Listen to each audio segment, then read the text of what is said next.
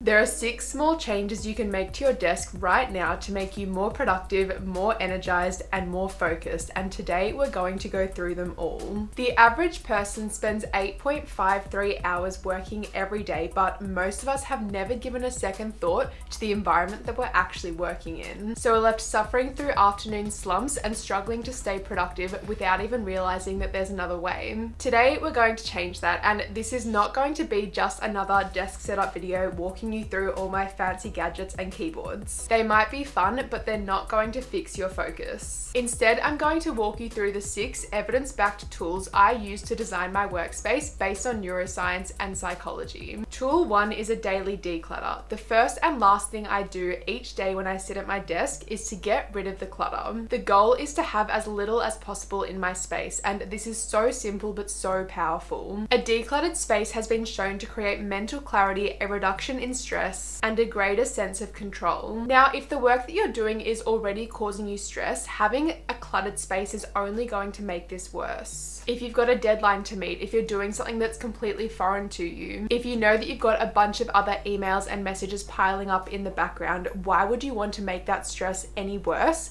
with something that you could remove with a two minute habit like decluttering? On the really stressful days, I used to struggle with feeling out of control. It felt like my work was controlling me instead of me controlling it. Learning how to properly manage my time, focus, and energy has helped massively with this. But before I developed these skills, this two minute habit of decluttering gave me back the sense of control that I couldn't get from my work. Now, when we work in mess, our attention is unwillingly consumed by that mess. You might think that you're fully focused on your work, but small parts of your attention are actually dedicated to all of that clutter around you. Studies have also shown that a decluttered environment is a clear predictor of increased sleep quality and fewer sleep related problems. This basically tells us that we can lie in bed with our eyes closed and the paper on the desk or the clothes on the floor still affect the way that we sleep. I don't think it's really the clothes or the papers that's the issue. It's the stress, lack of mental clarity, and loss of control that the mess creates. When we address this, it's not just our sleep that improves, it's our mood, our productivity, even our time management. You're no longer spending 10 minutes every time you have to find a pen or find that document that you're looking for. If you add this up over hundreds of days and hundreds of documents, this is such a valuable habit to start forming. Tool two is to raise your laptop. And if you look at my desk, this is actually a very convenient place to film this video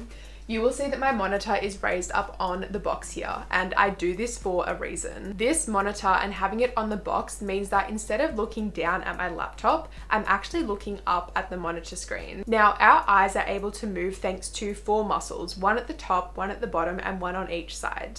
These muscles are controlled by neurons which connect to specific areas of our brain. So when we look down, our down neurons activate brain areas associated with sleepiness and calm. This actually makes us less alert. This is why your eyelids start closing as you're getting more tired and going to sleep. When we look straight ahead or more specifically upwards, our up neurons activate brain areas associated with alertness and attention. This increases our focus and energy and you can try it now. Have a go at looking down and then looking up and see if you notice the difference. Most desks have us set up with our laptops below us looking down at the screen. It's why I used to reach certain points of the day and feel like I was literally blinks away from just falling asleep. Keeping myself looking up towards my screen as well as other factors like controlling my caffeine and nutrition and sleep have really improved my afternoon alertness. So do whatever you can to adjust your screen to make it above your eyes. You could use a laptop stand or a monitor, or you could even just stack up some books and pop your laptop onto those. Tool number three is to bring nature into your workspace. And I absolutely love an indoor plant. I keep at least two on my desk and my work actually has indoor plants in their office as well. I always just enjoy them for the calmness and the bit of nature that are brought into the office, but it turns out there's so many other benefits with them as well. There is extensive research linking indoor plants to improved mood, concentration, and creativity. Workplaces with natural elements have boosted their employees' productivity by 6% and their creativity by 15%. It's also been shown to reduce anger, anxiety, depression, and fatigue, all from just a little bit of greenery. This is because nature shifts our brains into a different mode of processing that relaxes us and improves our concentration. Researchers have studied brain scans of people who are either instructed to look at a concrete rooftop or a green meadow. After 40 seconds, the meadow not only shifted the second group's brain into a more relaxed state, it also reduced their distraction and the number of mistakes that the group made when they were faced with a task afterwards. Now, I am shocking at keeping indoor plants alive, but the good news is that even fake plants can have a positive effect. The color green has been shown to boost productivity and innovation, while red actually decreases it. So bringing in any kind of plant, real or fake, goes a long way in replenishing our attention and focus. Tool four is to optimize your light. One of the most obvious things you will see on my desk is my Amazon light pad, which was on my wish list for a long time.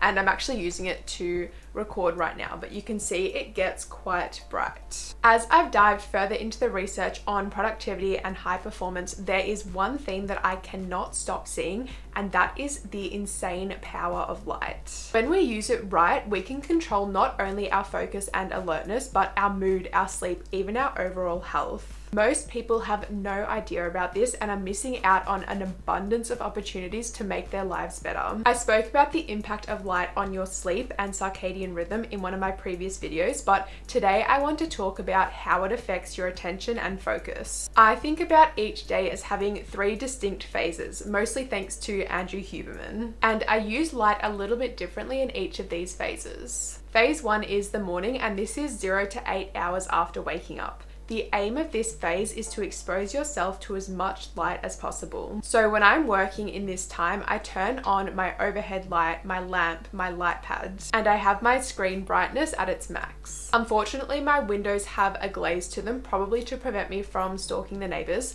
but if I had an open window, then I would definitely use that as well. Here's why this is so important.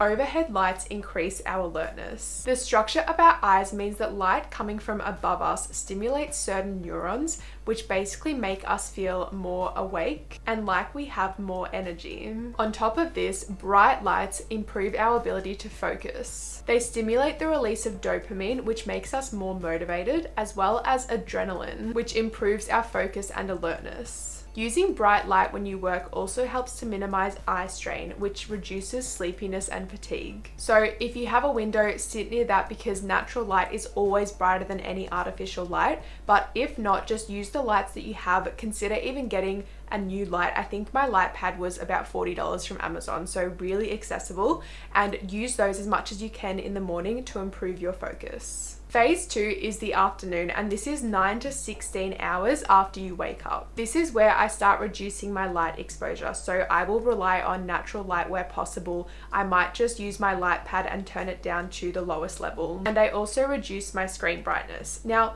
you might ask why, if bright light makes us focus, would we want to turn these down in the afternoon?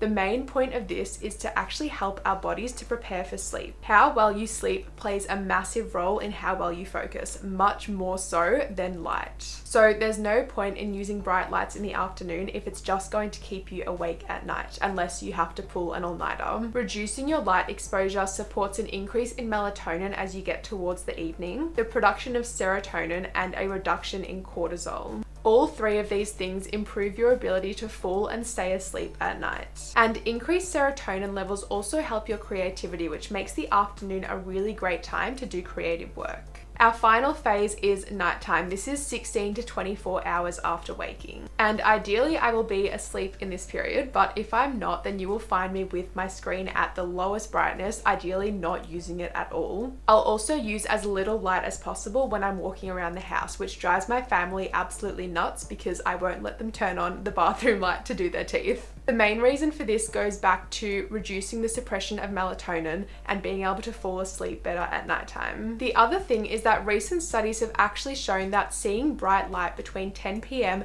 and 4 a.m. severely depletes our dopamine. Now, dopamine drives motivation, so less dopamine means less motivation, and less motivation means more resistance to doing hard things. This makes you struggle to focus for long periods of time because you can't push through those small wavers in focus focus that happen in any work block. So the main takeaway is to keep this final period for sleeping and not working on your laptop as much as possible. Tool five is to create a phone home. There is one concept from my favorite book series, A Court of Thorns and Roses by Sarah J. Maas that I think explains our relationship to our phones perfectly. In this series, mating bonds exist between two people when they are soulmates. This bond is basically a link between the minds of these two people, so they can sense each other even when they're not in the same room. Most people today have a mating bond with their phone, even when it's not switched on, even when it's lying face down on the desk, even when there's no notifications. There is still this pull to pay attention to it to make sure that you're not missing anything. But if we look at the research, leaving your phone on your desk is actually making you less intelligent. Researchers conducted a study where 520 students were split into three different groups. Group 1 left their phones in a bag in another room.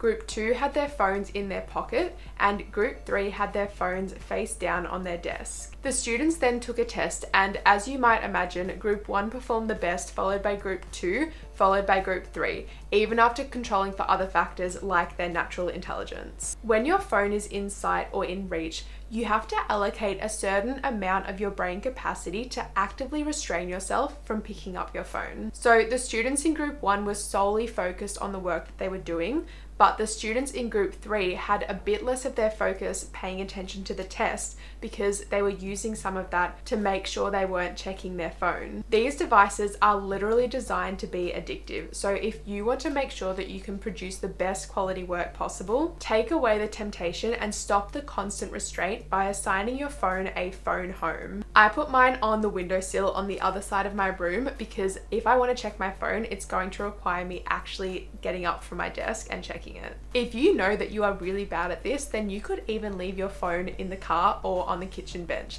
Anything that's going to put as much space and as much time and resistance between you and your phone as possible. This is how you design your workspace to eliminate the distraction and keep all your mental energy for work, not resisting temptation. Tool six is your happiness boosters. And the final question to ask yourself is does my workspace make me happy? This might sound stupid, but being in a good mood is honestly such an underrated productivity tool. Think about the last time you went into work in a state of pure positivity and happiness. You would have been more productive, more motivated, more energetic, and more resilient. Ali Abdaal, a productivity expert, literally wrote a whole book called Feel Good Productivity. The most direct way to becoming and staying productive is to get yourself into a state where you're enjoying what you're doing. So add some personal touches to your desk. So my candles and my plants make me happy. I like my laptop background. I love having my books on my bookshelf next to me. And when I go into work, I always make sure to choose the seat near the window because I love being able to look out at the view. You spend a hell of a lot of time at your desk, so it's worth spending a few minutes making sure that it works for you and maximizes your happiness, productivity, and focus. Now, I want to make two things clear. The first is that I do not expect you to implement all of these, especially not all at once.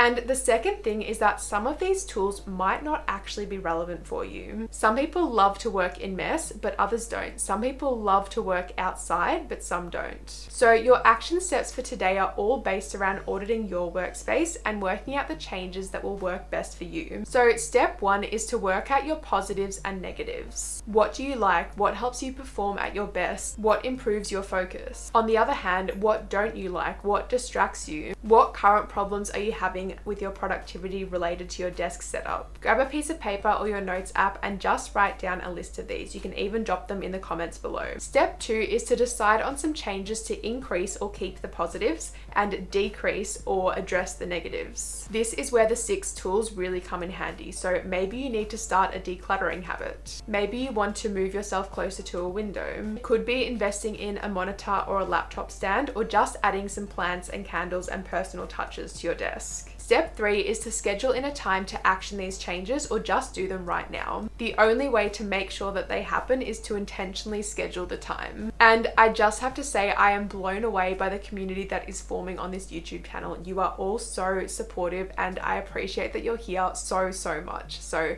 if there are any other videos that you would love to see, please comment them down below. But otherwise, I will see you next week.